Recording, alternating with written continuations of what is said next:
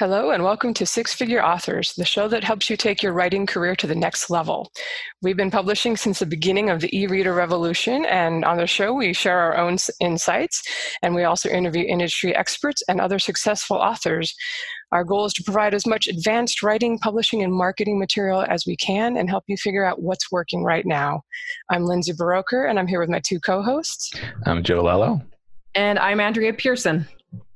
And on today's show, uh, we're going to be talking about kind of some of the tips on marketing, craft, and productivity that uh, Jo and I were both at NINC. So we'll, you know, we'll be talking about the various panels we went to. And I'm actually Jo actually went to more of them than I did, and so and he took epic notes. He actually had his keyboard hooked up to his phone. It was just going to town in the back of the room. So we are going to ask him today. Uh, Andrea and I are going to ask questions for Jo on the panels I didn't go to. And then we're we have so much material that I think we're going to do a second episode next week talking about the ones that um, we were both at. And those were more of the marketing focused ones. I think we both went to Mark Dawson's talk and uh, David Gaughran, Alex Newton, and um, I think we might have Dave Chesson kind of in here and we might talk about his stuff again next week on keywords and, and search terms and stuff. But before we jump into that, um, feel like we've been we didn't record last week since we were at the conference so it's been a couple weeks so do you guys have any news you would like to talk about that's been going on in your writing slash publishing lives this uh, last couple weeks um, I my book is coming out next week. The one that the big launch that I've been working towards. Um, that's pretty much everything that's pretty much consumed my life the last little while, and I'm really looking forward to being done with it and i don't i just remind myself of why i don't do big launches. They're not fun and they're stressful. So i generally like promoting earlier books in the series when i have later books released just because that is more of a monetary benefit than promoting a new first in a series. But you know i had to experiment and try new things. So we'll see how it goes next week and how happy i am in a couple weeks No, that's totally understandable, and it's it's why I've become a fan of writing the first three and doing the reads because you know you have some more books, and you can have some good income if book one does well. But obviously, that's you have to be a pretty fast writer and really booking them out to be able to prepare three for a launch. Uh, as for me, uh, I you know, since I got back from NINC and I had a 14,000 word document of things I might want to try, I have decided to uh, do my first really big push into BookBub ads. I've gotten this far in my career without really devoting a, a dedicated advertising budget. And I'm also having like my worst month of sales in a very long time. So it seems like it's a good time to make a change. So this is based in small part on the the NINC learnings and in large part on I bought David Gaughran's book on uh, BookBub advertising, and I'm working my way through it. So far, I've got a 1% click through rate uh, by targeting Lindsay. And for a first try, like literally my first uh, ad that I've done uh, since I started, 1% is half of what I'm looking for. So if I can double it in my next couple of tries, good for me. So yeah, most of my next uh, uh, uh, non-writing time is going to be building those ads. And for as for writing, uh, I am doing outlining for, I've mentioned in my, in my previous things, I, am outlining the next couple of books in each of my new series, and I'm trying desperately to finish the sequel to a prequel that I started many years ago. See, I guess we're going to jump right into some of the tips we got right away because I want to comment on the BookBub, like why I'm probably a horrible person to uh, Target, which I didn't know until who was talking BookBub? David Gaughran. I guess we'll cover David this some more, yeah, next week. But he mentioned for those of you that haven't tried it, these are like the CPM slash CPC ads, where um, and then you can target an author and you want stuff to display to their readers, but you should target people who have been running discount promos for 99 cents or 199 or whatever if you target the people that run a lot of free books which is primarily what i've done the last couple years on bookbub you may find that they have a lot more reach. Like what was it? Uh, each person has a certain number of followers on bookbub but if their readers are like way higher because there, there's people who follow you on bookbub and then there's people who have interacted with one of your ads in the past and bookbub counts those as uh, a reader or you know like a potential person you can advertise to but i have almost 100000 readers or people who have interacted with my ads and only like 13000 followers. And uh, david was saying you want someone with more like maybe you have 13000 followers and 26000 readers which might be indicative of uh, they're buying the paid stuff rather than just clicking something because it's free. So, Jo, you might be targeting me and getting a whole bunch of freebie seekers since that's what I've done on BookBub of late. I don't know. I happen to be testing with a free book, so I think it's probably a pretty decent target in this case. Yeah, well, you'll have to let us know how it goes. I've I've kind of felt that it's hard to pay that much per click for a free book versus like going to Freebooksy and getting a thousand or two thousand for your I don't know how much they charge seventy five dollars. Andrea, have you done uh, the BookBub ads and played around with that much? Uh, my husband has. He does like Amazon ads for me. Um, he's done a little bit of BookBub, but we haven't focused on it too much. We haven't had a need to yet. Facebook ads and Amazon ads are still working okay for us, but um, wanting to branch into them more just because one platform isn't always going to be the best platform to use. And I need, I feel like I need to have experience there so that I can help my clients because I do get people asking about them. So, but not yet, soon. All right, cool. Well, one more tip from BookBub. I, I, know nobody really cares about my news anyway. They're like, give us the good stuff. Is that they're coming out with, actually, I already have it in my dashboard. It sounded like not everybody does yet, but um, you're now going to be able to target audiobooks specifically. Like you can go in and say, do you want to do an ebook or do you want to do an audiobook? And it doesn't have to be a discounted audiobook. It's just, you'll have to figure out if you can make it work. I'm going to give it a try with my Star Kingdom omnibus that's coming out in audio in November. You know, it'll be like $40, but it'll only be one credit. So it'll still be a deal to, I can just target Audible people probably or Amazon and Audible. So I'll be curious to see how it works. Um, one of the things at the conference was you really, we were seeing how especially like in sci-fi and fantasy uh, some of the categories audiobooks were really encroaching and ebooks were selling really well and print was really getting squeezed out as far as complete total sales on amazon. Um, so something to keep in mind if you're you're like me and maybe you started doing audiobooks but you feel like you could be doing better it, it's probably a good time to start playing with it and, and learn learn that stuff. Right as far as my own personal news Boy, uh, I, I, enjoyed NINC. Um, Jo, you didn't actually mention if you thought, did you think it was like, because if we were both first timers, did you think it was a good experience? And should Andrea definitely come next year? Or are you maybe going to go every other year or never return to Florida again because we melted in the humidity? the, the, humidity was a bit much, but uh, I think the information was really worthwhile. It was definitely sort of, I've only done a few author type conferences, and this one was definitely sort of the highest level uh, uh, information we were getting. I felt like the community was a lot more accessible here than some of the others I've been to. Um, so as long as I can sort of still financially justify the trip, uh, I could foresee going to this thing on a regular basis.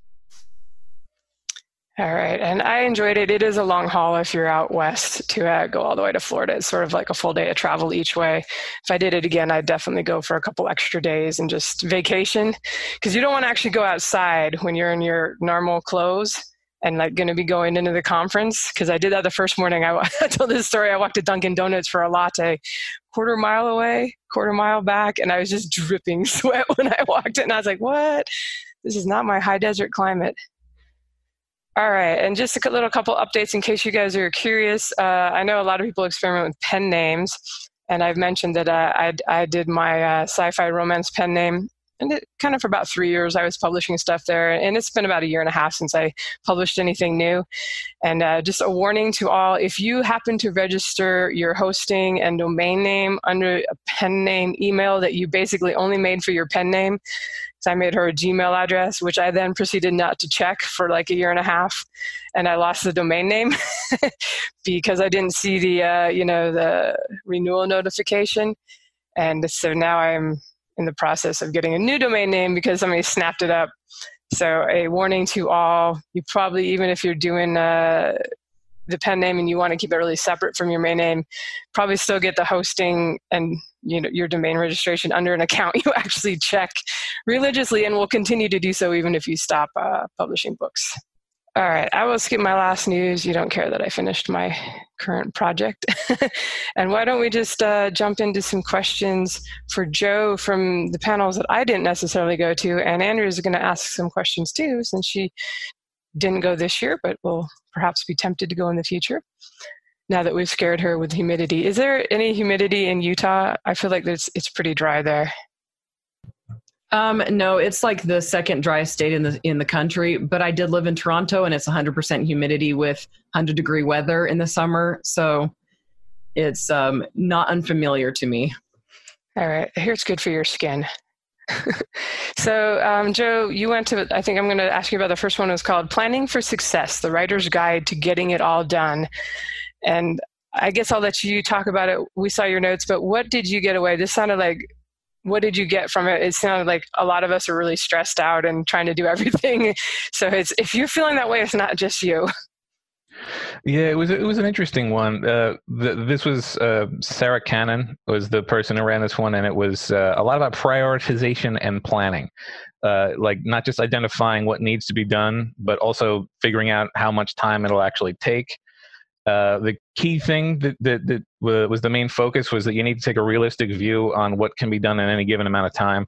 A big thing that she talked about was that, uh, and it was a quote. There was lots of there was lots of useful quotes in it that I don't know if I recorded all of them, but one of them was along the lines of uh, most people underestimate what they can do in a, in a year and overestimate no the other way around they overestimate what they can do in a year and underestimate what they can do in 10 years so a lot of it which was talking about how you know g- give yourself the space and, and pace yourself uh, uh, one of the big chunks that was super useful is they like basically looked at October. Like October is 31 days, so divide your workload by 31 and do that much each day, right?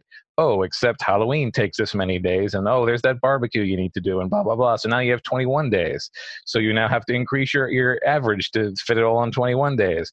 Like instead, just be aware of how much actual working time is in the month and plan accordingly in that way, so that you don't suddenly find yourself having to write 6,000 words a day when you know you can on your best day only do 4,000. So there was a big chunk like that that was useful. And uh, yeah, like just in general, the whole thing was, was about just like knowing what needs to be done and figuring out what needs to be done. I'm curious if you two guys are big onto like planning and spreadsheets and to-do lists, or like I know some authors will like know a year out, even if they publish frequently, they've got it all planned, like what's coming out in what's month. And uh, I'm sort of halfway in the middle, I would say. I'm not a pantser completely, but you know, don't ask me what's coming out in August of next year. I was like, well, maybe a later book in, in the next series. Do you feel that you're more of a planner, and do you find that helpful? Um, I am a I'm a I'm a day to day planner. I have a big old thing. Well, I have a, I'm sorry, I have a weekly planner. I have like a, a, a file called day uh, daily agenda, and I have it's broken up by by days of the week, and that is useful just to so I don't forget the small tasks, but I tend to really lose track of the long term. So this this this this sort of thing, particularly later on, we'll talk a little bit about how like it stretches out to like a ninety day chunk sometimes. I I got to get better with that. Andrea, I feel like with kids and everything, you're probably really a little more tighter and need to do a lot of planning. Do you do any of that? And do you feel like it's been helpful? Um, I generally don't. Um, this last launch I have, I've got everything set up and all the pre-orders lined out um, because I switched my writing style halfway through the last um, since I started publishing. So like three or four years ago, I started dictating, and so I found that things didn't exactly go the way um, they were when I was typing, and so I had to readjust everything. And so now that I've got a good swing in, now I know better um, what to expect. And so I've been able to set up my next my launch schedule for this whole series all the way through June. But generally, um, there's it's too hard to predict with kids. And with this schedule, I've got it set up so that I have a lot of buffer days and I'm not pushing myself too hard each day. So I'm only doing 5,000 words a day. And then when I get to the revisions, I'm only doing five pages of revisions a day and then so that gives me time to get a 50 to 60,000 word book done in about 9 weeks including days off and things like that. So, I mean, it's it's helping right now, but I haven't done it in the past, and I don't generally use spreadsheets. I probably should though. I always feel like I'm really in the weeds if I catch myself actually sitting and typing out a to-do list. like I get this, this, this, and this done. Um, it's a good point to make some buffer days because you never know when you're going to get sick or something's going to happen. And I know, like, I have my editor booked almost every month, and that can be kind of stressful if you're just like, well, I'll just get it done. And uh, I, one of the things going forward, I'm probably going to book a few less days next year. I have a little bit of fear of missing out. I'm like, well, what if I have something done? I want to be able to send it to her and not have to wait another month to publish it. Patience is not a virtue, or it is a virtue. It's something I don't have. Um, Jo, she talked to about the 80 20 rule, which we've kind of touched on before in our old podcast, and, and lots of people have brought it up, sort of the Pareto principle. Do you want to, did she give some new insight into that or anything writers in particular might find useful? Uh, yeah. So uh, for people who aren't familiar, basically the 80 20 rule is that 20% of your effort will produce 80% of your results. And uh, a big one of our main things was like identifying what the 20% of tasks you should be doing to get the 80% payoff. And she boiled it down to basically, I, well, making a list of all the things that you might want to do uh, and then asking yourself the same two questions for every one of those tasks. And the questions were does this move me toward my goal which of course means you have to define your goal uh, which which is the thing that a lot of people don't do. Uh, so does this move me toward my goal is one question and will it pay off significantly in the short term is the other? And if the answer to both of those questions is no it shouldn't be on your list and so it's not definitely not going to be in the 20% if it doesn't move you towards your goal and it won't uh, uh, affect you in the short term. If the answer to both questions is yes, it absolutely belongs on the list. This is going to be a high impact item that definitely moves you forward. And then if it does move you towards your goal, but not immediately, then it should go onto your long term list. That's, that basically covers everything. So, yeah, those two questions and knowing clearly what your goal is was uh, the way that she sort of recommended that you find your 20% of, of high impact stuff does this move me toward my goal? Will it pay off significantly in the short term? What does she mean by, by pay off significantly in the short term? Does she recommend not doing things that would pay off only in the short term, or does she recommend doing them or only focusing on the long term? Um, with the uh, payoff significantly in the short term thing, it's it's frequently like uh, like that was a way to uh, identify, for example, um, if you wanted to learn how to do uh, a new advertising type and you know that it's going to take you six weeks of dedicated effort to get that advertising working. And, and you also know based upon your, your experience that it's a sort of thing that takes a long time to pay off. Uh, if you are in a time crunch that's maybe a useful thing to do but not a useful thing to do right now. Whereas if you know well you know if i if i just dedicate that time to getting more words out I'll have a lot more flexibility with the book release. That's a short term benefit that, that will help you, which also almost every short term benefit is a long term benefit. So she was in no way saying that you shouldn't be focusing on the long term, but particularly in moments of time crunch, uh, sort of a framework of, of her thing was that she had found herself in a situation where she was buried and had to climb out from underneath it. And in that situation, the short term is everything. So uh, certainly long-term stuff is important, but if you find you're going to be sinking a huge amount of time that you don't have a lot of on something that's going to pay off maybe further down the line, then that was just a lower priority thing. And it wasn't an eliminating factor, just a lower priority thing. I would have to mention that uh, I think we're all going to assume that would you be better off writing the next book also has to be a question. I'm just going to assume everyone, this is sort of towards like your marketing maybe and other stuff. Like, because if you actually look at it, I spend like 90% of my time focusing on writing and publishing the next book. So I would kind of be thinking, how can I apply the 80 20 rule to that 10% that's like marketing time? Like, am I better off? You know figuring out how to do bookbub ads is, the, is the payoff potential really there? You know or then sometimes when you're posting on social media and stuff i always have to wonder like is this really you know are you doing something that's going to sell books in the long term or are you just wasting time that you could be put to something else did she have any thoughts on like I you know I kind of was reading through your notes and she seemed to be mentioning a lot of stuff. I felt overwhelmed just looking at the notes, and I feel like a lot of us as authors often feel this way. We we got into this business feeling like, well, we're just going to write books, and then somehow they're going to sell. Uh, and there's so much more. We're basically running online businesses and uh, trying to fight in an increasingly crowded marketplace. Do you have any just tips on dealing with that kind of feeling of overwhelm? Yeah, uh, like motivation was a big deal, uh, uh, and also like motivation in in, that, in this case being like keeping track of the things you've actually completed.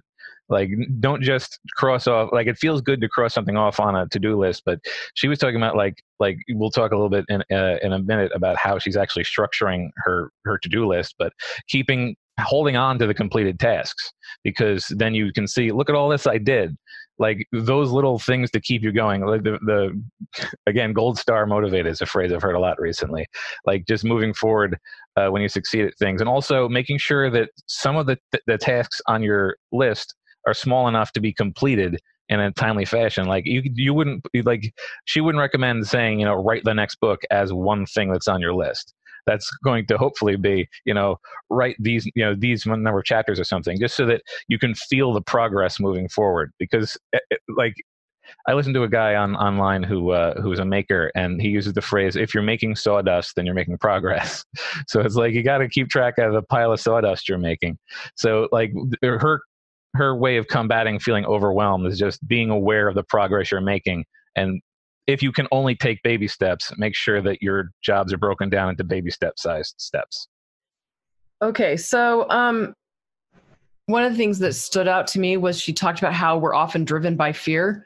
Um, what did she mean by that, and how did she recommend authors handle it?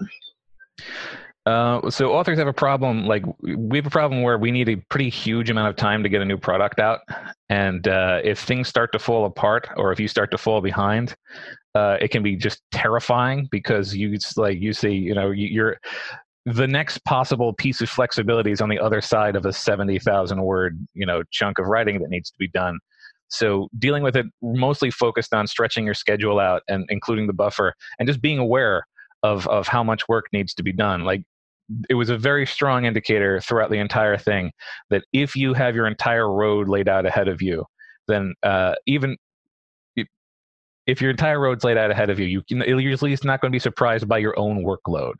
And there was a lot of uh, just monitoring your own progress so that you can set realistic goals in the future. So again, if you think, well, you know, I can finish this by the end of the month if I up my average, you know, if I double my average, I can I can finish it by the end of the month. Don't put yourself in a situation where you have to do that. Know how much you can write and keep track of how much you can write and plan it accordingly. So a lot a lot of the just being driven by fear thing was being very aware of of what you can do and how soon you can do it and trying to even if there's the unexpected have a spot in the in the uh, in the sort of gantt chart so to speak of uh, like this is where my wiggle room for the unexpected is and i put that in there for a reason. Because the worst thing that can happen is if you, if you put a buffer in that you don't need is that you have a couple of extra days and that's a lovely thing to happen. So so like being aware of and planning for for disaster uh, was a big chunk too. Did she talk at all about how sometimes our tasks will, you know, swell or whatever the word is to fill the appropriate amount of time and how to address that? Um, there was a little bit about how, like, it, I mean, heck, she sort of acknowledged that even the task of making these giant lists of tasks was was a thing. But uh, uh, uh, yeah, what basically she was very uh, dedicated to. If it's not on the task list, you shouldn't be doing it.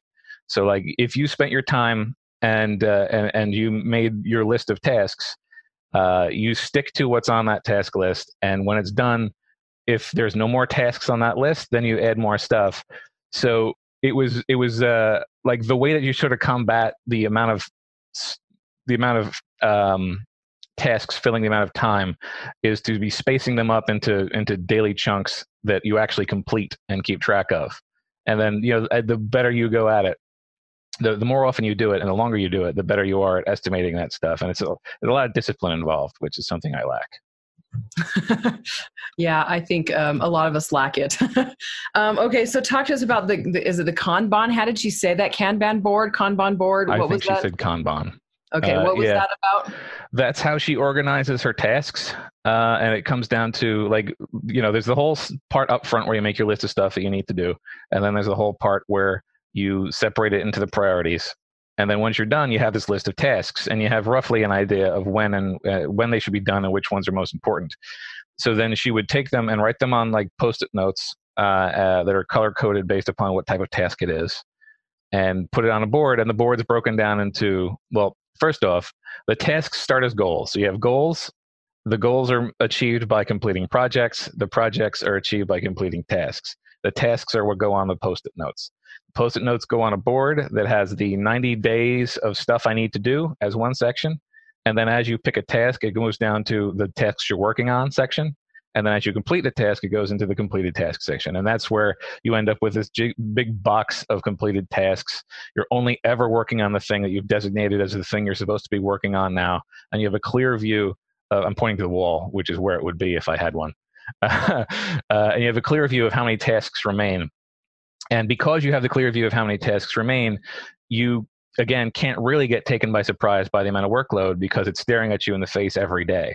and you can sort of on the fly like reprioritize if you find that well you know whatever if you've you've got advertising tasks as red notes and like there's a lot of red notes in there and there's not a lot down here so i should move these over for today and it was it seemed like uh, especially if you're the kind of person isn't great at like holding all of that in your head or or just if you're the kind of person who needs to at a glance get an idea of what you need to do it seems like it's a fantastic way to organize it but it also seems like the sort of thing that is an entire project in and of itself and uh, and uh, is maybe a bit more than i would do so it's a great idea i think i'd probably modify it for my purposes Okay, so I've kind of done that before. She used sticky notes. Is that what you're saying? What she did? Yeah.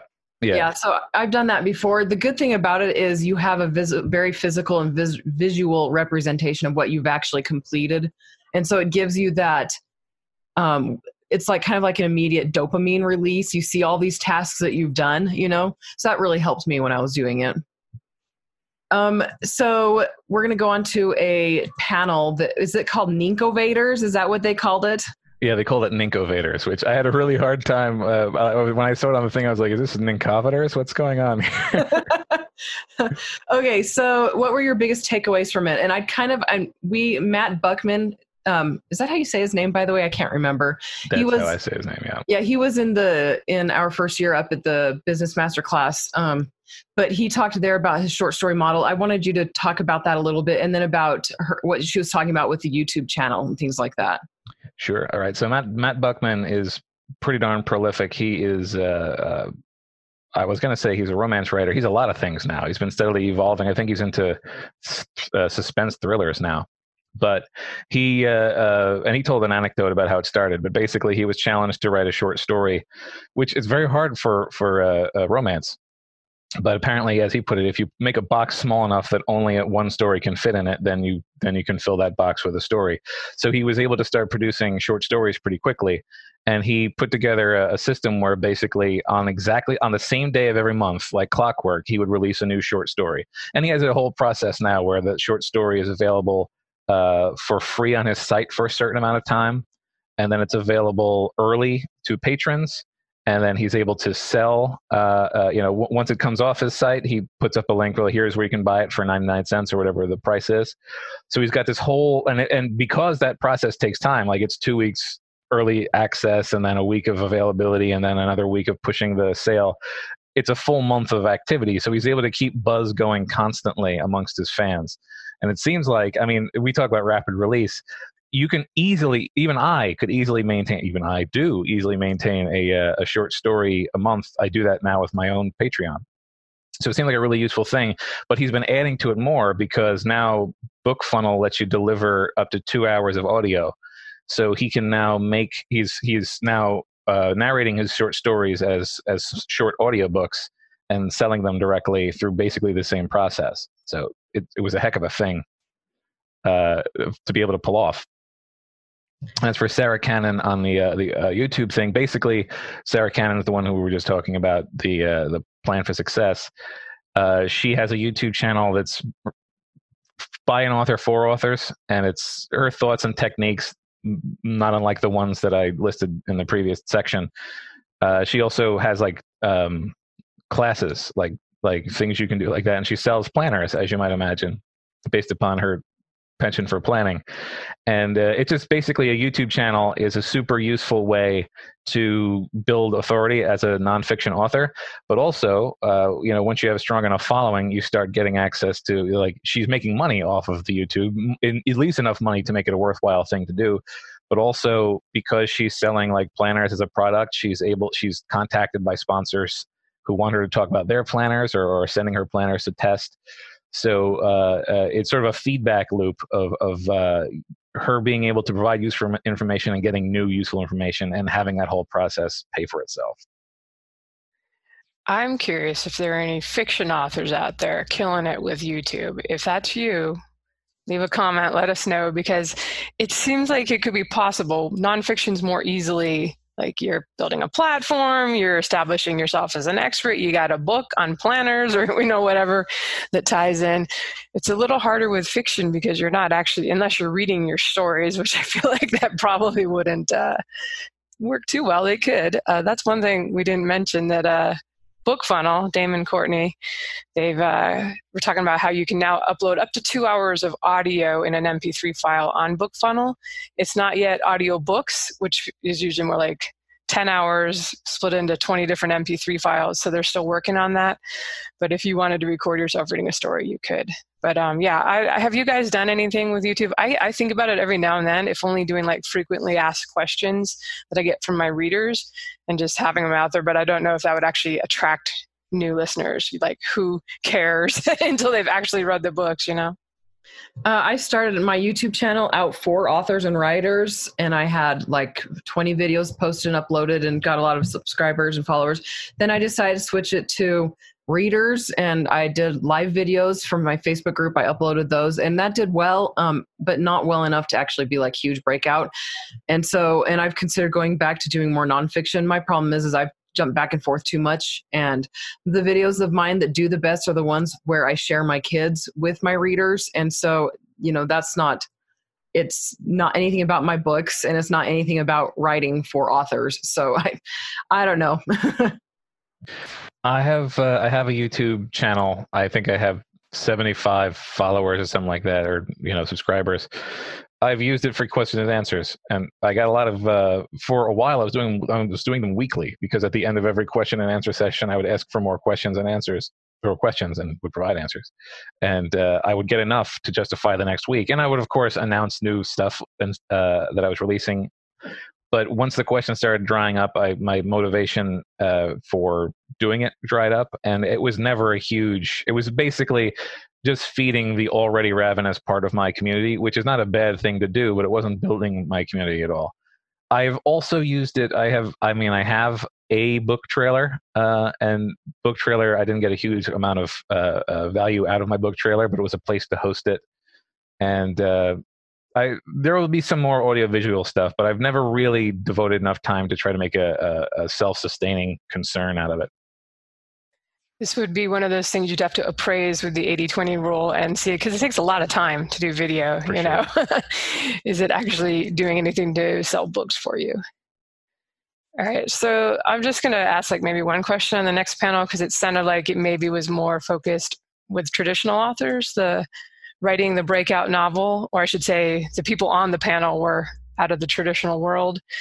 Um, did you get anything out of that uh, that talk that you would be useful, whether you're for traditional or indie authors trying to maybe go from mid list to higher? uh, yeah, this was this one was three uh, traditional editors. Um, I think the most useful piece of information that I got out of that was uh, there was a section where they were talking about what they had done to get authors who were mid list to to break out bigger, and uh, some of it I think is useful. Like one example was uh, uh, there was a woman who was writing uh, uh, romance, and she was writing what we would call traditional romance, in that you know it's a beautiful woman and a beautiful man finding each other. And the editor was like, "You're not standing out in any way, shape, or form with your stories." I think that there's a section of the audience uh, that is, you know, certainly enjoying the, the books about you know superstars meeting each other but what about maybe there's a section of the readership who just want to read about a person like them who isn't a supermodel and is still finding love and that woman wrote a, a, a book called butterface i believe that turned out to be the most successful uh, most best-selling book that they had written. So I think like information like that, where uh, if you can find the smaller niche within your niche, it's basically it's not information we haven't gotten elsewhere, but finding a niche and, and or an underserved uh, audience and, and serving that audience works even for traditional and therefore is going to work particularly well for self-published. Uh, and similarly, uh, and again, just good advice overall. A strong backlist, like if your backlist is high quality, even if it's not selling well, but if you've got a reasonably large backlist that's high quality, the next time you have a big hit, if you ever have a big hit, the next big hit you have is going to drive people back to your backlist. So, as useful it is to really spend time honing one great big book that you think will be your masterpiece, if you just keep on putting out quality work, when you do produce a thing that catches on, the quality work is gonna is is gonna get stuff funneled back to it, and it doesn't. Therefore, the thing that goes big doesn't have to go very big because you're going to be buoyed by your backlist, which will be getting you know funneled back. Especially if what you're releasing is again, these were largely romance uh, editors the way romance books work is you can have a series of romance books that are all standalone. So uh, they you, any one of your romance books can break out because you don't need the backlist to support the plot. But the backlist still contributes to the entire series, and therefore every book in the backlist is valuable as soon as one of the books in the series is valuable. And it looked like in your notes that they had some comments on like, oh, you shouldn't write to market or you can't do this writing to market. And I bet all the indie authors in there were like, wait a minute, there's lots of people making piles of money writing to market. Did they address that at all? Or because uh, we were talking about before I hit rec- or before Jo hit record that, you know, can you actually become like a huge bestseller writing to market following the trends? Or is it more likely that if you get lucky and you do something new, you know that that you know i feel like most of the huge bestsellers have been not really to market have been like kind of starting a new trend but it you know i don't even know how you would say like, oh, I'm just going to be the trendsetter and I'm going to write the thing that makes it huge and gets a movie deal. Yeah, a big chunk of what the with the what most of them were talking about was like you have to. They were very dedicated, especially because of this the slow release rate of traditionally published books. They were very dedicated to putting the absolute best book you can put out, and that means the book you're most enthusiastic about. So a lot of them were saying that you can't have a have a breakout uh, uh, book that was written to market because uh, if you wrote it to market, then you adjusted, you know, you you aimed your sights towards something which wasn't, you know, straight ahead for you, and therefore it's going to implicitly be worse than if you had worked on something you were interested in. And but it's a good point. Uh, and first off, one of them pointed out that self-published authors can absolutely be successful with writing to market because at the speed at which we can release, we can catch a market even if it's brief. Uh, but I think I agree uh, very much that like you're not going to you can only do as well as the uh, as the the the market is serving. Like so if you know Fifty Shades of Grey comes out, you can do as well as Fifty Shades of Grey, and that would be amazing. But uh, uh, you're not going to do better than it unless you're distinct from it. You know you can't you can't exceed the market and therefore that's what a breakout is is when it break you know when, when it uh, emerges from the market. I don't think you're going to do that unless you're writing to the market better than the market already was. And i don't like that's going to have to be what you're already into. Because otherwise you're an amazing person if you can choose to do better than uh, than the market was already doing itself. It's kind of like Twilight. I mean, vampire books have been around for a billion years, and vampire romances have been around for a while, but Twilight just happened to hit th- what the market wanted, especially you know the tweens and then the the moms of the tweens. so yeah, it, yeah, it's a situation where like if you write Twilight, you can break out. If you imitate Twilight, you can't you can't do better than Twilight. Yeah. Uh, well, Fifty Shades of Grey was originally imitating Twilight. Just yeah. it, it differentiated itself. Yes, agreed. Okay, so you went to a a panel that, or not a panel, a presentation that was basically about the website and how if it's pulling its own weight. Um, what are the top three things you took away from that? Uh, top thing by far was that most author websites are too complicated. And by most author websites, I mean certainly my author website is too complicated. Uh, you can strip away a lot of stuff nowadays just because of the general savviness of modern web design and the modern web surfer. So, like, lots of us have a home button. And, and she was saying how uh, you don't need a home button anymore. We're used to clicking the logo on the top corner of the screen to go home, so you can get rid of your home button and like little things like that just trim away. And uh, mindfulness of the fold is a thing and hopefully by now we all are but if you have a purpose for your page and you should have at most two purposes ideally one purpose for any given page on your site one call to action it's got to be above the fold. If you've got too much stuff forcing it down and if it's a blog post a blog post obviously can start above the fold and then continue down likewise with navigation but uh, you you need to you need to get that stuff above the fold. Uh, another big thing that she talked about, like it was a bigger chunk than I expected of the thing, was uh, direct sales are are much more of a thing now than they had been in the past. Uh, uh, it's pretty easy to do direct sales. Uh, you know, WordPress can you can get two plugins for WordPress that'll take care of everything from setting up your web store to handling what the taxes are going to be and like giving you the forms you need to send the taxes. So so uh, direct sales were a big thing that I might be looking into as a result of this, particularly again because BookFunnel lets you sell little chunks of audiobooks now, which is uh, if you want to serialize an audiobook and it's less than two hours per chapter, then you can absolutely do it now. Uh, and finally, uh, and other people talked about this too, but you can use your website. Like, not enough people are using their website to focus things like group promos. Uh, uh, like, if you're running a group promo, and obviously it's gonna ha- you're gonna have to direct someone. You're going to have to direct the people somewhere in order to organize where all of the uh, the books are. And when you do that, uh, if you have tracking and analytics on your site, which is a big chunk of what they talked about, just putting a couple of lines of of of uh, code into your your WordPress header and like a Facebook pixel, and there's other pixels too that track stuff. Then when you when you drive people to your site for a group promo or anything that you might drive people to your site to, you end up with a, a, a picture of your audience, and you can use that to do things like retargeting ads or just find out what your audience is into and where they come from. Like you get the additional data out of your audience if you are able to drive them to your website. So those, that was a big heavy lifting thing that a website can do that I have never even tried to do. Yeah, Facebook will let you know if you don't have the pixel on there.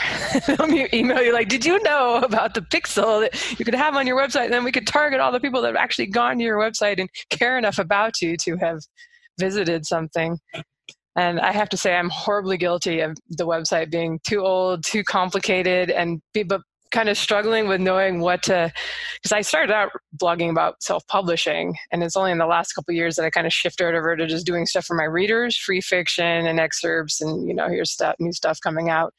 But I some some of the old posts get so much traffic that still get comments that I'm like reluctant to bury them but I need to and just simplify and just have like here's your blog, here's the, maybe a menu for like rights. That's one thing I've been meaning to add, like in case somebody is interested in uh, acquiring foreign rights or audio or something that they can find that information. A reading list. I don't know about you, but even though I have one, I get asked about it all the time because they can't find it. even though it's in their two places, it's like yeah, there's too much, so they're struggling. And then of course the mailing list sign up, and that's probably about all you really need, like in the menu on that front page. I know. It's tough. It's on my to do list, guys, which I'll be putting on the can board with the post it notes and darts I could throw at it probably. All right, let's move on to um, Dave Chesson had a talk called Mastering Amazon's A9 Algorithm. And I actually got to admit that I, have never really paid that much attention to um, what Dave does. He's got his own podcast, and he's is it Publisher Rocket? Is that what he has? It was originally KDP Rocket, and now it is uh, Publisher Rocket. Yeah. All right, I need to get it because uh, he convinced me with this talk. Because I've I've always kind of poo pooed worrying about keywords for fiction, because so many times I've typed in keywords into the search on Amazon, and you look at the number one thing like oh space opera romance, and it's hardly ever something that's selling, you know. Right. And so I've kind of wondered like, well, what is the point of even trying to like get up there in the rankings? But I don't know. What did, what did you take away from it? He, he kind of convinced me to pay a little more attention. I probably will be buying that program to make it a little more easier with also with advertising, selecting keywords. Yeah, well, I'll start by saying like when I said yes, it's it's Publisher Rocket. I said that because I opened up the tab where it is. I, I I've I've had it for a while, and it's useful. It really makes a lot of the keyword stuff into like we're not sponsored or anything. I'm just saying I genuinely do use it. It's useful for like you can look up who's using a keyword and, and, it estimates how much they're earning. So it's a useful tool. But um, he had a lot of numbers and stuff that that that he would certainly consider proprietary, and I would agree. But one of the findings I think was most like convincing in terms of working on your keywords and working on your indexing and whatnot was that basically f- nearly 50% of the clicks for any given search go to the first three search terms like if somebody searches for you know certainly not a lot of people are trying to find their next urban fantasy book by typing urban fantasy into the search bar but if they do the first three choices are going to get 47% of the clicks and the first choice is going to get like 25% of the clicks. So uh, even if you only do a little bit of work to make sure that you're showing up in the right searches and uh, ranking reasonably high you're going to get whatever small percentage i mean it's it's a it's a do it once and forget about it thing. Whatever small percentage of people actually search you're going to get a bigger share of them if you if you do the the work to get higher up in, in the indexing. And maybe just to clarify, I probably folks listening know, but the keywords are just kind of like space opera might be a keyword. You know, things people type into the search engine or to Amazon search looking for that stuff. And they you know they can get really long like six six words or something. That search space opera romance alien abduction breeding you know that could be a keyword for somebody looking for that particular thing. Yeah, he he was talking about how like you know people would do a search thing where it's like Regency romance, Regency romance with secret baby. You know, like people get pretty darn deep into when they have a specific story in mind that they like, they can put together a big long list, and uh, the more specific they get, the more uh, uh, specific the keywords are, the smaller the pool of people who have that keyword, and therefore the higher you're going to rank in. Like the more likely you are to rank high on them. So identifying those big oddball search terms is useful. He also mentioned I was actually at this talk, so, so I'm like, this is what he said. Um, that like the goal is to come up, you know, put enough search for uh, these keywords in your like title subtitle you know but you only need them like once in there. But he mentioned that like if you put a whole bunch in there you are probably going to get index for them as in show up somewhere in amazon search. It could be on page 750 but um and but then he kind of mentioned that if you narrowed it down and focused on maybe like a few that were super applicable to your story that you might have a chance to do better. Like it's diluted. Do, do you remember that or anything have any comments about that yourself? Uh, yeah, what he was saying is like uh, uh, Amazon will slice and dice the, the, the keywords that you have and have variations of them, uh, and uh, it will put together. So if some if you have whatever uh, necromancer as one of your keywords, necromancers will also you know it'll show up for that too but it will show up higher for a necromancer as opposed to necromancers. So you could take the shotgun approach and put together a gigantic list of compound keywords and hope real hard that you're gonna that you're gonna index and you will index on all of those. But the ones that are super relevant to your book you want to be their own thing and you want to be specific with them because you will rank higher. Like you'll index for all of them, but you'll rank highest for the ones that are more specific. So he had a big thing about how don't just get scattershot. Uh, be strategic with at least two or three of your seven precious keyword slots. Because you can actually put like something like up to 50 characters in each one, I think, and however many words that is. So you yeah. could, in theory, throw a lot in there. Um, and in addition to the title, subtitle, and the keyword meta, or, you know, what Amazon gives you to uh, put in the metadata, he mentioned that um, a, the look inside might actually be factored into it. So, however many pages you know whatever it shows the first chapter of your book. Uh, naturally you're not if you're doing fiction you're not going to be able to put space opera adventure into your story probably like we don't recommend it. But um, the category is also you know obviously if you're in space opera click the space opera category.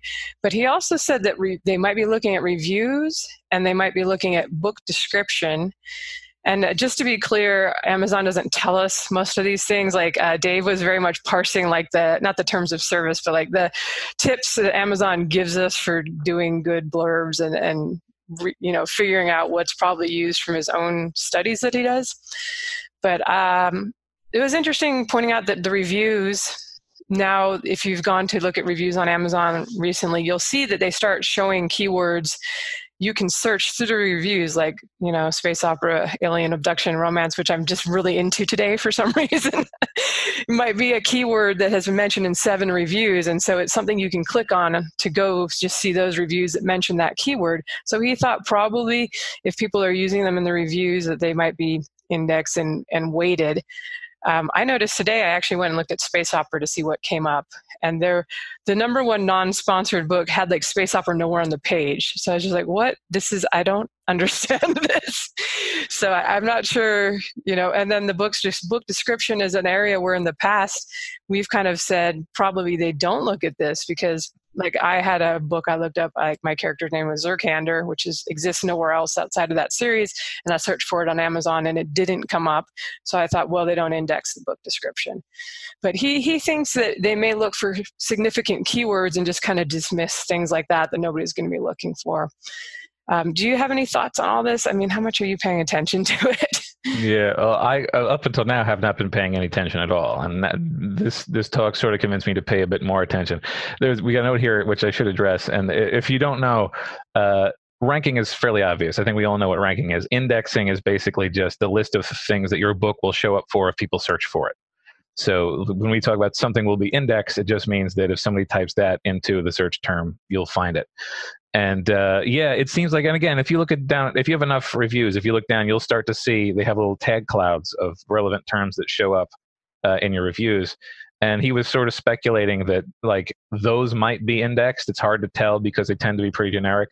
He was also speculating that maybe they're they're doing the same thing with your description which would be why you're not finding specific things like character names but you are finding you might you know if you have you know rollicking sci-fi adventure it might index that because that's the kind of thing somebody would search for not knowing about your book. Um, so yeah it, like i think that it, a lot of what he was saying was makes makes a lot of sense, and he had a lot of supporting information which we're not even really allowed to share because it's like proprietary.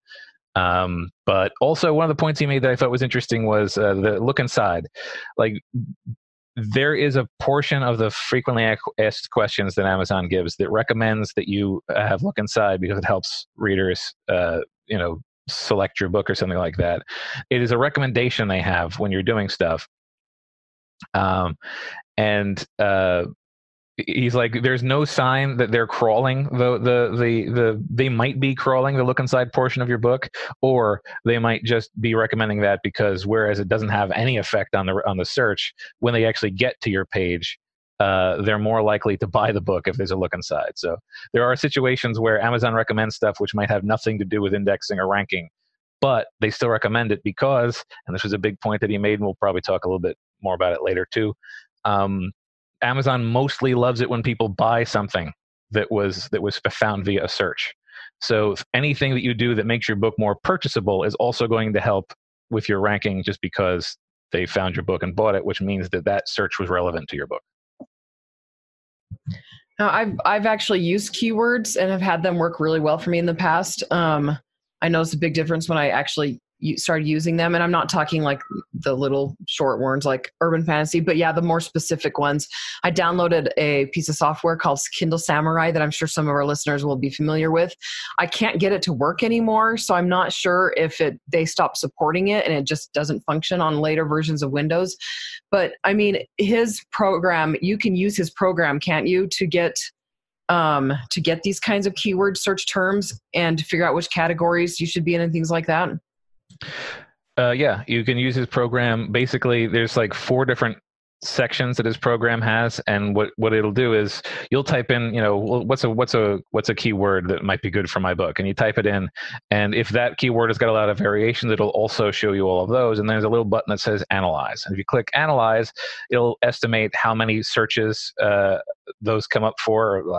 Uh, it'll, it'll estimate uh, how competitive it is. So, like, people might search for something a lot, but not a lot of people use that keyword. So, it's not very competitive. So, something with a lot of searches and a low competition is very useful. Uh, it, will also, uh, you can then hit a little uh, competition button and it will show you what books come up from each search and how much they're earning, which is a useful thing because not only like sometimes you can get really successful on a search term that's not going to make you any money because the people who are competing for it aren't making any money. so so yeah, there's a lot of stuff that that uh, that the the tool can do and that you can do. I mean, you don't need the tool to do it. The tool just makes it super faster. Like it, it gets as, as simple as type in a search term that you think is useful for your book and then hit space and start typing another word and see what the search bar autofills. Like that is just another, that's a thing that happens when people are searching for your thing. And it'll give you an idea of search terms that maybe you wouldn't have thought of. And also, sort of a side note, but um, uh, he's don't worry about doubling. Like don't don't worry if if something is indexed elsewhere, don't use up any space on that. So don't use words that are in your title as keywords. Don't use your category as keywords. Those things are already indexed by themselves. So there's a lot of ways to be just more economical with what you've got based upon that.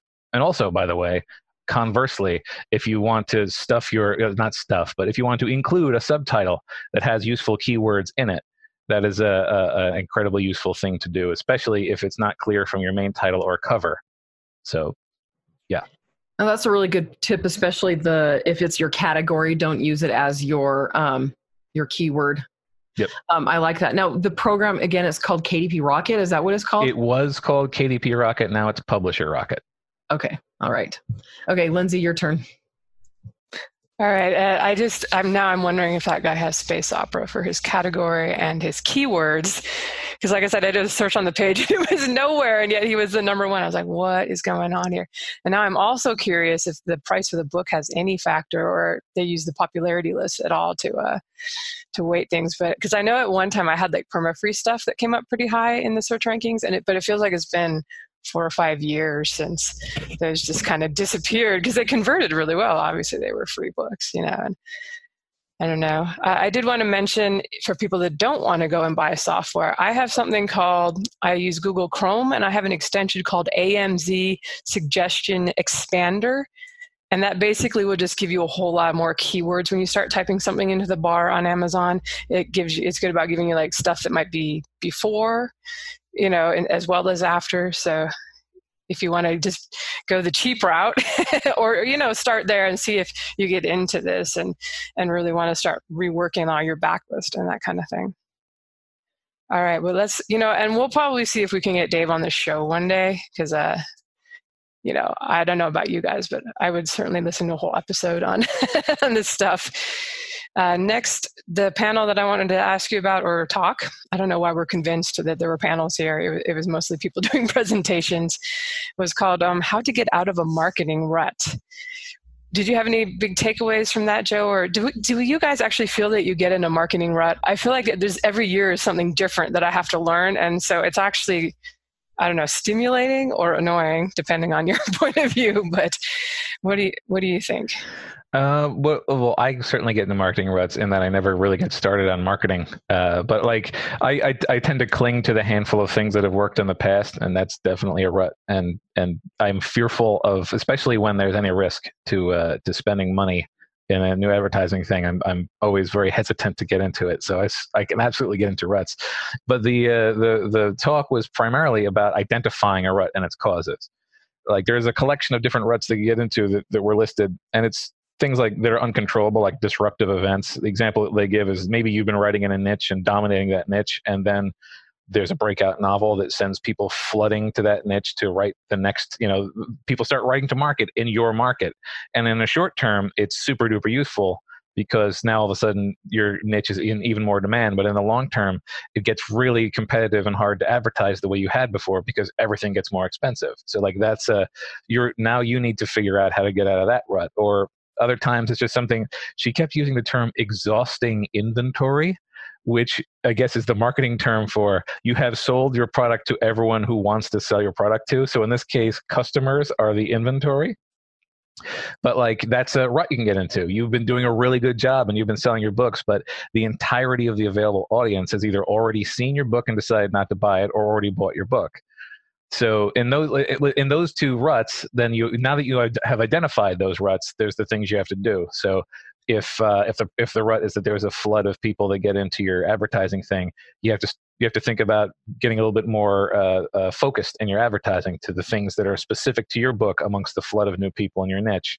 Or if uh, you know the rut you're in is that you've overserved your audience their ads, then you have to start thinking about other advertising platforms, or even just something as simple as changing the images or copy on your ads if you've had some long running ones that you haven't had to change in the past.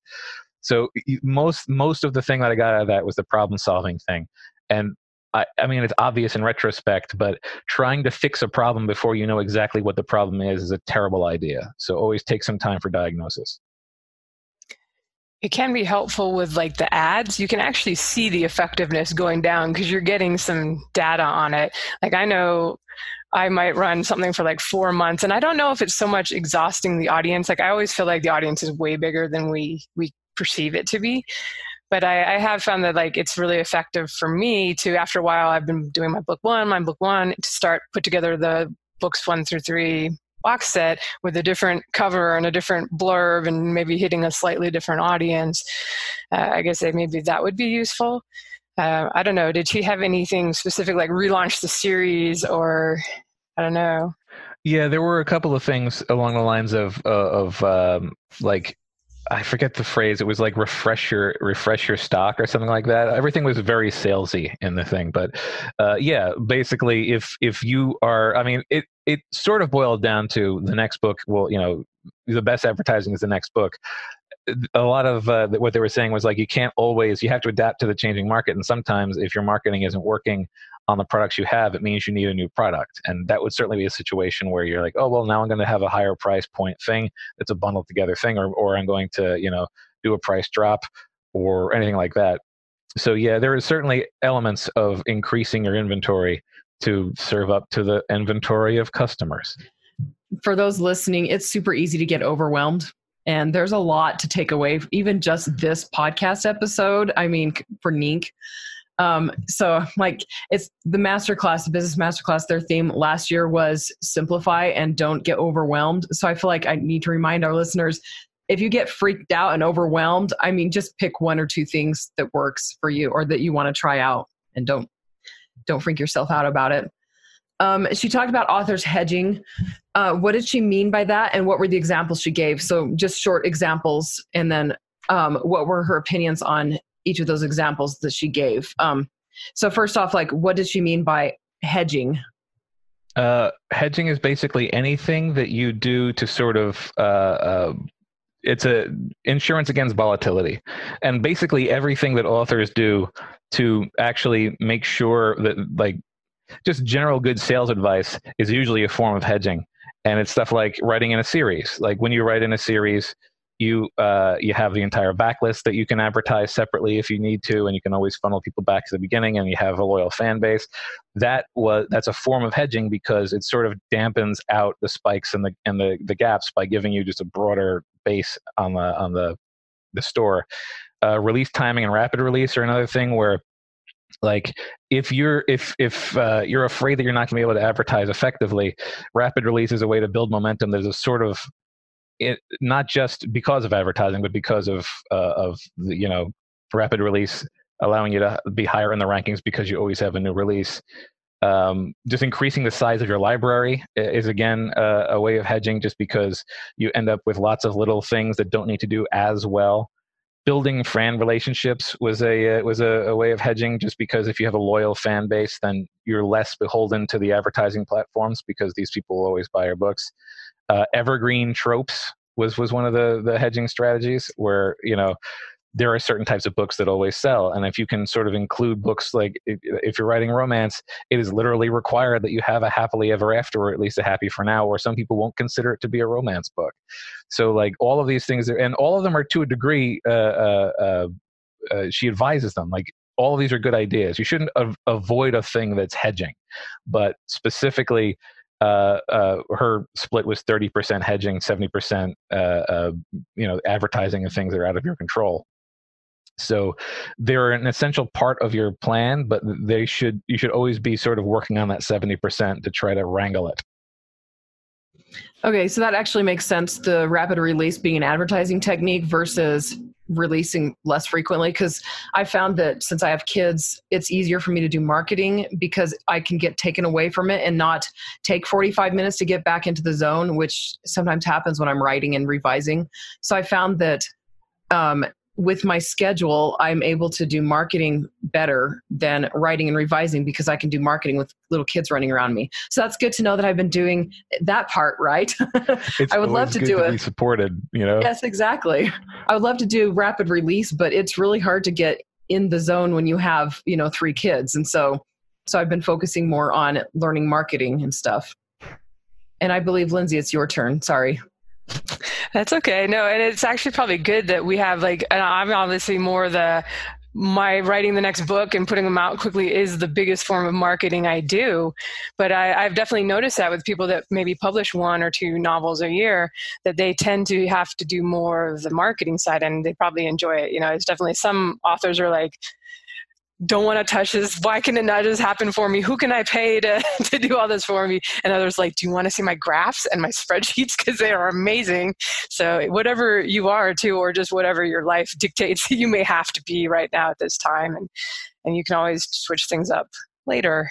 It doesn't take long for kids to become independent and move out, right? Just, just a few years. Then you'll be so much time. Yeah, I've got at least 18 years with my six month old. it's practically around the corner. Yeah, yeah.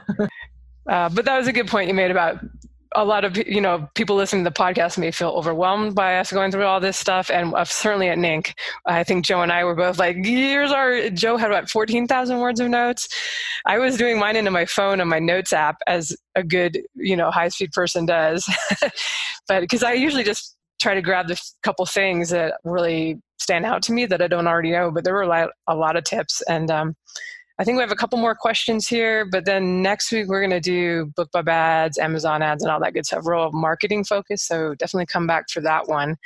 Um, I did want to ask about the last the craft one. Damon Suede did quite a few, and I, I heard they were great. I chose this year to go more to the marketing stuff, but I might do more craft ones next year. It's always feel like I should be you know still trying to learn those things or at least having things that you kind of know in the back of your brain maybe reemphasized so you're thinking about them a little bit more um, so he, you had one to one on making your protagonists shine uh, did you get any good tips on that one from that class yeah, uh, it was. I, also have often been of the opinion. Well, I know how to write a story. What I'm bad at is advertising. So I, was, I, I often like focus more on what I can learn about marketing. So, and then I go to a thing like this where it's like, oh wow, there's a lot to know about craft. Uh, it was incredibly uh, information dense. He was he nonstop talking the entire time and barely got it in under the wire. But uh, some of the best takeaways I took from this were. Um, the following you you want your direction of your character to always be forward. Lots of people dump in a lot of backstory and backstory is important but backstory should be uncovered by the story as opposed to just in, given to the reader. So he's his, he was saying that like to make a, a character shine everything the character does should be about moving them toward what they're doing. Uh, actions should be with intention. So uh, examples he gave was like, you don't want an activity, you want an action. He swam is an activity he swam away from the shark is an action. And one of them is definitely more interesting than the other. And it's a lot of stuff like that.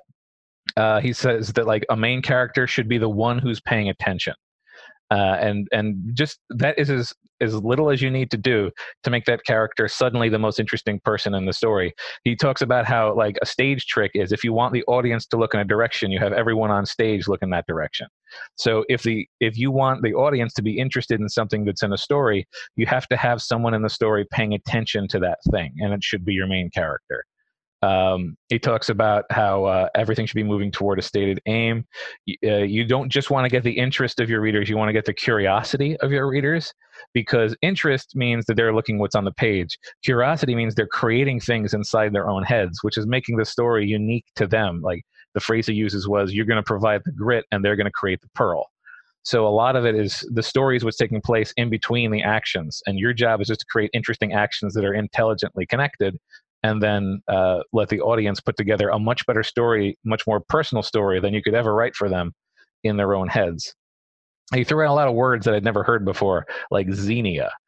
Xenia is uh, uh, grace. It's the thing that makes the hero a hero. I'd never heard the phrase used, and he talks about how um, a hero is defined by the fact that they always have xenia. Everything that they're doing, it doesn't have to be oh, Mr. Goody Two Shoes, but everything they're doing is done just with a general you know it's what it's what allows us to have a society and the hero always embodies that. They you know they're the one who pets the cat. They're the one who helps the person who fell down. And this is something that i've grappled with in the past and it's a useful advice. Every now and then a side character seems like it's stealing the story from the main character and a way that you can you can tamp that down is to have that set character falter in their xenia. Have them step on an old lady's foot is the example he gave. Just a little thing that a hero wouldn't do. And instantly the uh, audience is going to refocus on the hero as the primary source uh, of of interest.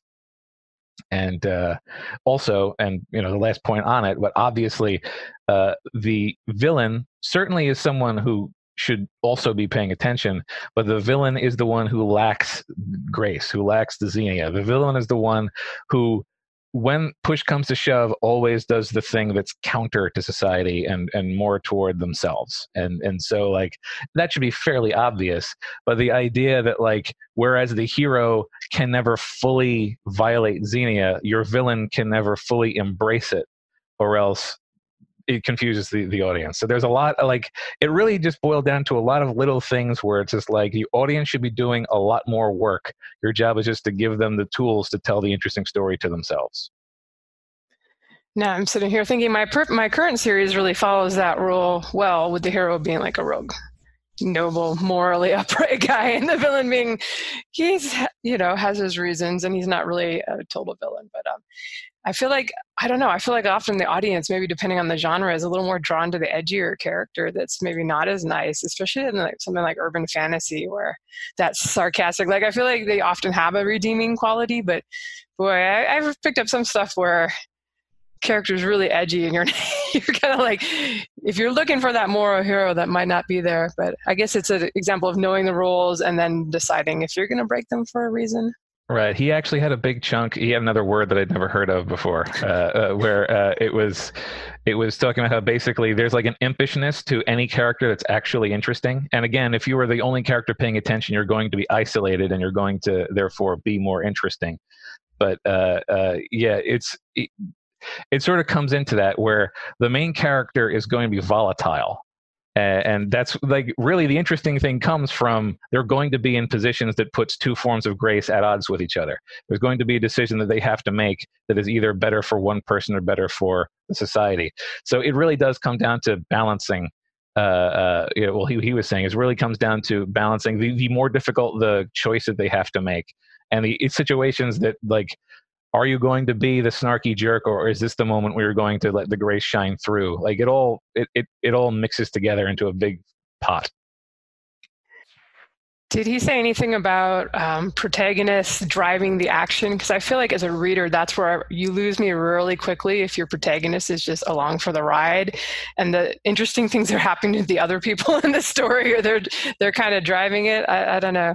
Yeah, yeah, he was very clear that your your protagonist uh, they should they should always everything they do should be moving them toward their stated goal and uh, nothing they do should not be moving them toward that stated goal and it got down to the point where he was like you should be defining every choice made by your character as you know so and so is as a character who pays attention like it was he was he broke it down into an actual sentence phrase you just fill in the names of your character and what they do and if you and if you find yourself without uh, a thing to fill in into that sentence, then that whole thing should be removed. Like that action be removed. So it's like you know, Willy Wonka is a candy maker who pays attention to the way people act, so that he can change the the status quo and blah blah blah blah blah blah blah. Like and so that yeah, he was very clear. The motion is always forward. If they're passive at all, then they are a member of the audience. They're not the main character. So you went to a class that was called the Art to Fiction Keywords. Um, this was Dave Chesson, right? Yes. Okay, so is this a separate class then from the other one that he did then? Yeah, he did two, and they were fairly tightly related. But uh, this came down to like, whereas the the one we talked in, in detail about earlier was about uh, how you're using keywords to uh, to you know help the algorithm. This was much more focused on the actual selection of those keywords and the way that they're selected and what they mean and, and how they do it. A lot of the points that were made in terms of uh, uh, relevance. Relevance is, is one of the big things that he brought up. Is when you're trying to choose keywords, you're trying to choose keywords that are relevant to your book, and relevance is the most useful of the of the keyword elements and the one that is going to affect the algorithm the most. So, uh, like this is where we start talking about how if you fill in all 50 uh, characters of your keyword slot with with words. Uh, those words will all contribute to the keywords that people will be able to find your thing for but they'll also score much lower. And uh, and, and more to the point choosing keywords that people actually purchase uh, is so much more important than choosing just keywords that people search for he had lots of graphs, but what it basically comes down to is there's a limit to the amount that you can. There's a limit to the to the uh, level of relevancy you can get to just by having a wide interspersed bunch of things that people might search for. Yeah, that, basically that's what it was, and and that's where a lot of the same tactics were coming up. Where it was uh, if you just enter in your search term uh, and let Amazon fill in more, uh, and if you there was a lot of overlap actually with the previous thing I think about. I'm having difficulty. All of this stuttering is me having difficulty separating the two things in my head. All right. Well, should we uh, wrap it up? I guess we've been rambling for an hour and a half, um, hour and 10, uh, 15 minutes, something like that. You guys can see why we split it up. And you can see why there were three days worth of full talks. And there's some that Jo and I didn't even get to. Uh, there's a lot. There were usually three things going on at one time, so you had to pick. Uh, one thing I didn't mention at the beginning that I just wanted to mention as kind of an overall vibe I got from talking to a lot of people there is that here as we are in 2019 we've got a lot of authors that have been in the business for a while and some that you know there was lots of like seven figure authors there. People have seen huge success. Everybody seems a little concerned about like it's getting harder it's more competition it's hard you know you have to spend more on ads to make as much as you did last year when you barely spent as much on ads. So if you're getting that vibe and feeling that you know i don't necessarily have an answer to you for you but just know that a lot of people were feeling that. Um, I think going forward, you know, it'll be really important to kind of nurture your fan base and write to a really specific audience that only you and your style, you know, your voice can quite give them what they want. I think that's the kind of thing that will allow people to survive when there's 50 bazillion of whatever in your market, you know, and it's all the categories have been packed on Amazon and the other stores and you know, and there's going to be more opportunities coming forward too. Like I said, audiobooks are coming on if that's something you're interested in. You know, we're seeing more opportunities still, but um just realize that yeah everybody's kind of feeling like okay it's not easy anymore. You really gotta fight if you want to keep what you had or you know succeed going forward. Do you guys have any final thoughts before we wrap up? Um, i will say that uh, as Andrea was saying it's an excellent point to make. You just got an awful lot of information and that information that you just got is a subset of all the information we got and it seems like an awful lot. Um, when people actually ask me, like not in terms of summarizing thoughts like this, but just, hey, what did you, what were your big takeaways? There were like three big ones, and we're probably going to talk about all three of them next in the, in the next episode. But like, it all boils down to just a three. Like you, you instinctively know, oh, that's something I know enough about to start right now, and it seems like it's something that I've never thought of before. Uh, so don't look at all this and say this is these are all things I need to do. Just this is a situation where focus is important, and uh, if something doesn't work now, that list of things you can do, just pick the next one off that list. Don't feel like all of this is an instantaneous imperative. Yeah, and don't uh, don't flail. I know that happens a lot. I mean, I do it a lot because I don't have as much writing time, but listen to the episode and pick things that resonate with you and focus on one or two things. Don't focus on everything because the more you split your attention, the more basically the less effective you'll be and you're you're basically setting yourself up for failure. And so you need pick something that you know resonates with you and might resonate well with your audience and then focus on that as much as you can until it's you know until you prove whether it's going to work for you or not. Give it an honest effort basically and I would love. I'll eventually go to NINC Um, I just right now, like right now, I just go to that business master class and I focus on my kids. But someday, it's a little easier to go one state away than uh, across the country. oh yeah. All right. Well, same thing. I think my takeaways. Uh, I have a huge list. A lot of it will just be like as I'm launching the next book. You know, like maybe I'll put a little more effort into the keywords. And there's a couple tips we'll talk about next week that just little things that I can start doing with my advertising. So I, I, always put the focus on writing the next book, though. You cannot go wrong unless you're not selling any books, at which point you need to figure out how to sell some books.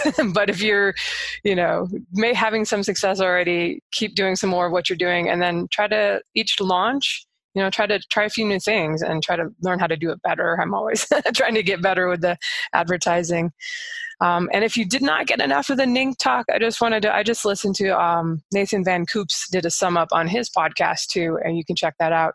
I, I grabbed the link. He's actually puts it out through a Facebook group, but it's also on iTunes. It's called Book Faces. Book Faces Live, I believe, is the name of the show if you want to search for that but um, he does some good stuff too. So anyway, that is it from us. Thank you for listening, and we hope you got something out of this long show. Please visit sixfigureauthors.com with the number six for the show notes to leave a comment or to ask a question for a future show. And now that we are officially live and up on iTunes, if you have time to pop in and leave a review, that would really help us out since we're starting from scratch here with this new show, and we hope people find it and find it useful. Thank you. Bye, everyone. Bye-bye. Bye.